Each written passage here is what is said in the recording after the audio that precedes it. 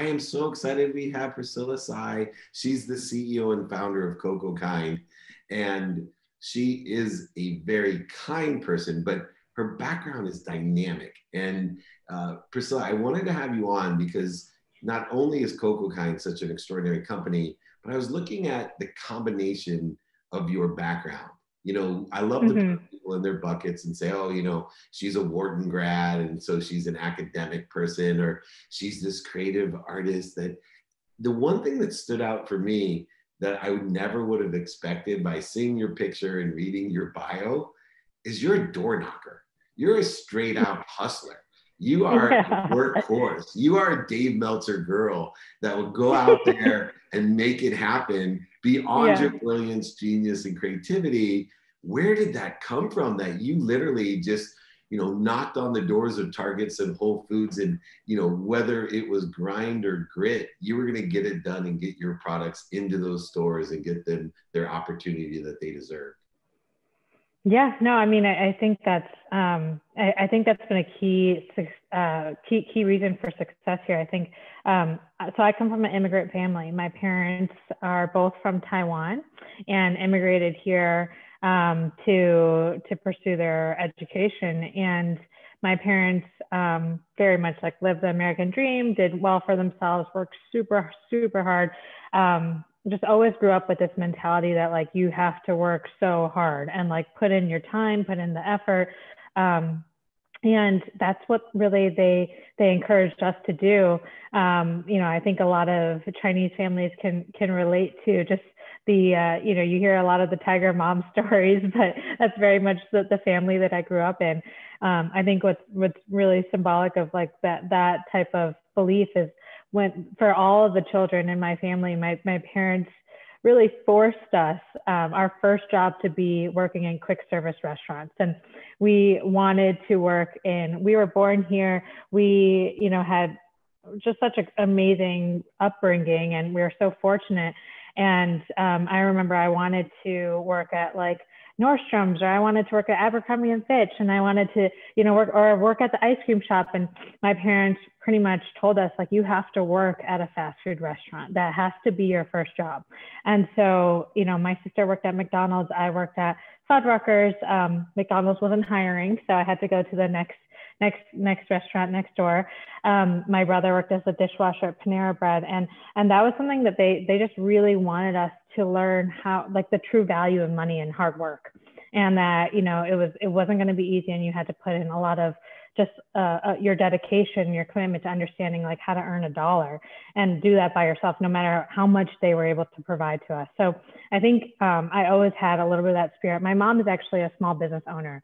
So I feel really fortunate actually that, um, you know, not a lot of my friends had the example that I had growing up with a mom who, um, worked super hard, um, was, you know, very much equal when it came to um, the economics of our family. She, she led a business, she grew a business, um, and it was a business that, you know, no one would have expected her to, to lead. She, um, is, her business is distributing nuts and tools to distributors in the Midwest. And she started as a clerk there and she ended up buying the business from the owner eight years later. Um, and so we kind of have this like just hustler mentality a little bit in our family. It's a it's a combination of hard work, but also just just um, determination too. And, and that's very much um, how I grew up and and how I started the business. It's so interesting because I had a mom, a single mom that raised six kids. All my siblings went to the Ivy Leagues, including two of them at Wharton. And one word that is in the title of your company is, is kindness. And although my mom worked two jobs and packed my dinner in a paper bag and had us read to each other in a station wagon, uh, you know, there was no equating uh, to that education of watching. Uh, but my mom was also very kind. Mm-hmm. And I was wondering why, you know, out of all the names you could have, the combination of including that word kind or kindness within mm-hmm. the context of your business, how does kindness or, or being kind uh, relate to your business or how important was that and what you took from your upbringing?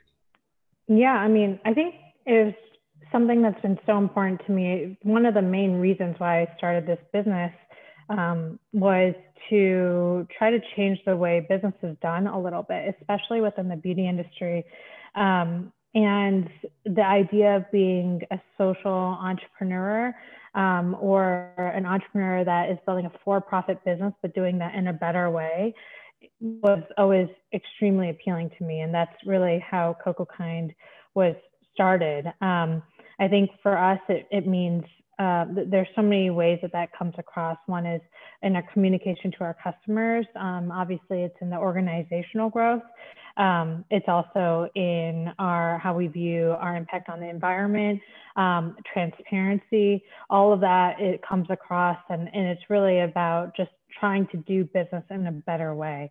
Um, and I really feel like that is what differentiates us um, not only as a brand um, because it's very visible and it's, it's very much communicated transparently to our customers, but um, but as an organization too. So um, I think it's like one of the, the main reasons why I started this business. If it wasn't for that consciousness that we bring to what we do, I definitely wouldn't be doing this.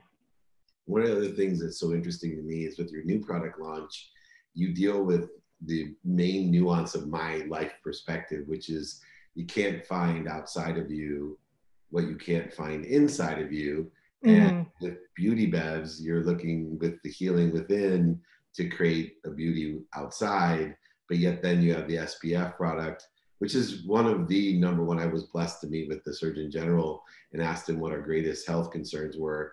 And skincare was in the top three, along with, of course, uh, heart care and diabetes or overeating um, and, and those types of things. But mm-hmm. I think it's really interesting that you have this great launch of two products that are so complementary to one another, but yet if people from the outside were looking at your normal CPG SKUs, uh, they would say, "Whoa, this seems very diverse. That you're, you know, in this wellness space of inside healing, but also protecting our skin uh, in on the SPF side. But I see how they are truly interrelated. For you, you know what was the decision in making this the next product launch for you with such a you know mm-hmm. diverse type of offering yeah i think for us like it's part of it is also just doing something exciting and new um, and you know as a, as a brand we balance giving the products that people have been asking us for like many many years like an spf which took us three years to develop um, with a product that they're not going to expect whatsoever, um, like our beauty bevs. Um, that are important to me that I've cultivated and I, I that, that that I've used for so many years, but that would be really unexpected to our customers too. And seeing if we can push the boundaries a little bit on, on what beauty means and, and having it not just be a, a topical or superficial thing but something that you're really promoting people promoting the thought process of evaluating what you're taking in internally and externally. So um, to me it was just something that was personally something something that I drank every single day, but also that I knew was going to be a new exciting category that I, you know, wanted to test with our customer base. And then your mindset is so strong, and I love to hear how that mindset of yours has helped you through the accelerated change that we have, especially in your space, uh, running a small business during the pandemic. Mm-hmm. Yeah, I mean, look, I think um, resilience is key. I think every entrepreneur entrepreneur knows that you um, every day you experience some sort of success, some sort of failure, and um, it can really eat away at you. And so the next day, there's really no choice um, but to come back at it and and be resilient. Um, I think it's a rare kind of type of person who's going to be willing to suffer through all the unique failures of an that an entrepreneur faces. Um, but in it, in it, you have to have like some um, over-index amount of uh, pleasure with the building a business in order to um, withstand all the, the, the, stuff that you have to take on. And um, I think that that's something that I've learned no matter you know how much how, how how determined I was at the beginning of this business. I think that resilience is something that you grow through time too, because you just go through a lot um, and you have to shoulder a lot. So uh, I don't think it's something that I necessarily knew what I was getting into. I think I you don't know what you don't know in the beginning, but um, after many years, I know that resilience is something that you have to grow even stronger and stronger every single day.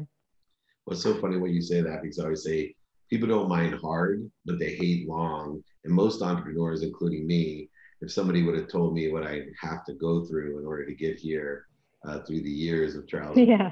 and lessons, I'm not sure you know I could have uh, withstood the uh, resilience of the long combined with the hard.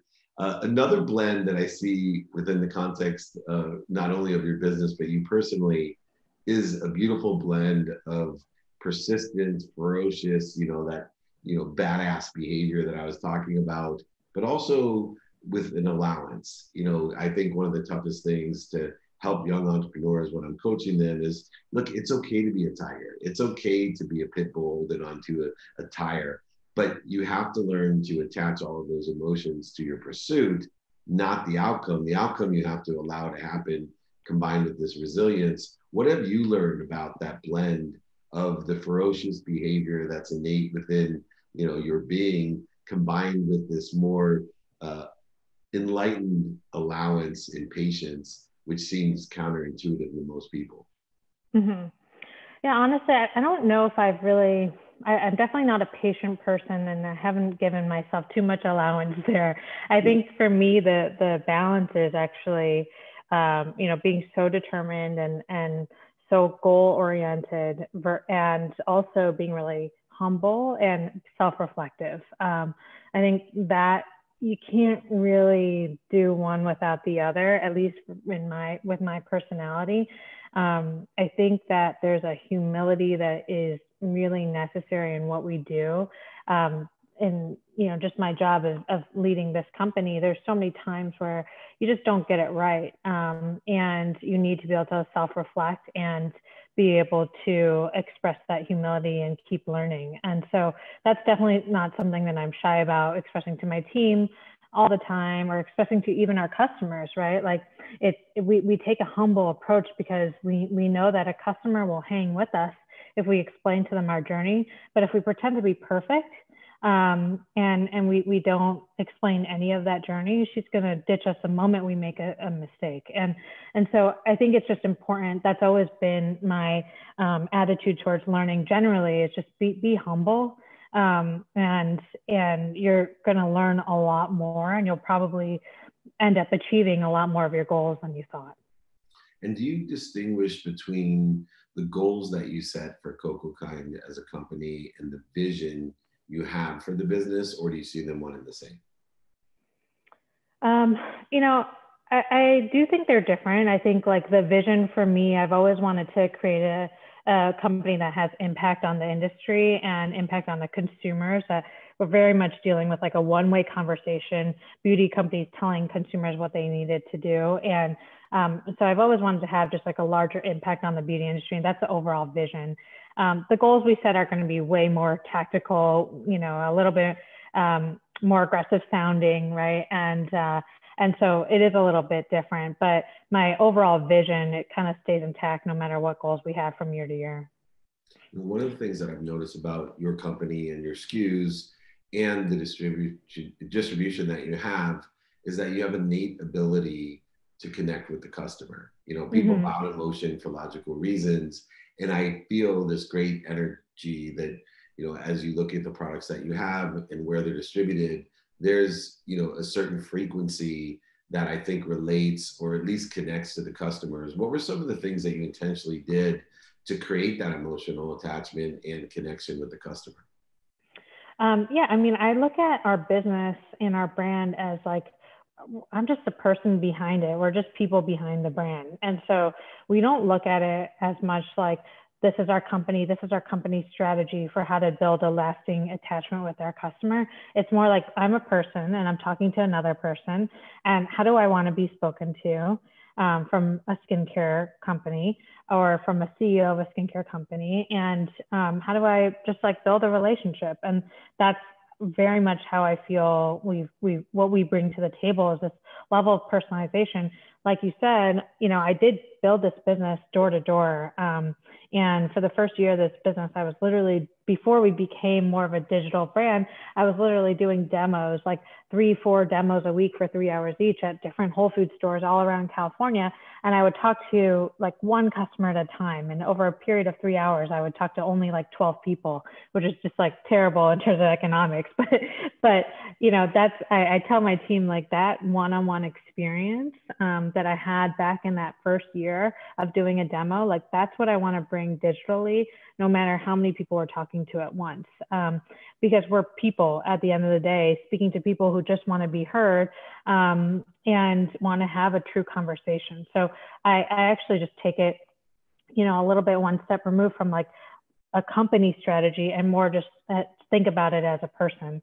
Um, and that's that's you know a huge differentiator between us and another beauty company. Is it's not really a marketing strategy; it's just who we are you know, so interesting as well to get all of that feedback one on one with the customer for an entire year and putting the effort in that then exponentially gets rewarded.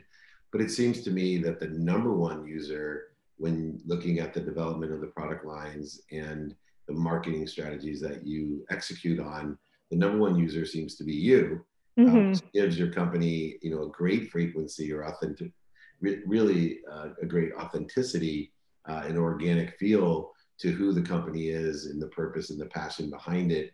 How important is it that you know you are the number one user and beyond the feedback you received, you're not only the number one user but the number one fan of your own product? yeah, I am the number one fan.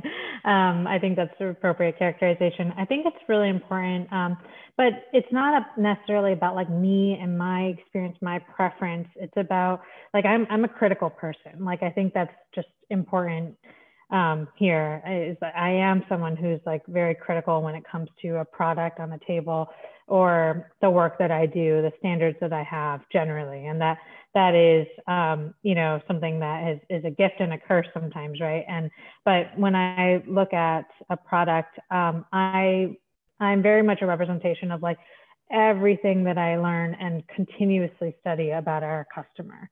Um, and then that's the approach that i'll take when i evaluate a product. It's less about priscilla and like my my very specific preferences and more about i am so dedicated to studying our customer on a daily basis. Like I will answer DMs on Instagram, even though we have a team to do that every single day. On the weekends, I do that myself. I don't do every single one, but I go into them and I just see what people are asking us, see what their feedback is, and I really take the time to study our customer. And that's how I develop my point of view when it comes to evaluating a product. So it's it's important that I'm the number one fan, but I'm representative of a much larger effort to study um, my consumer. You know, the last question I have revolves around being a parent.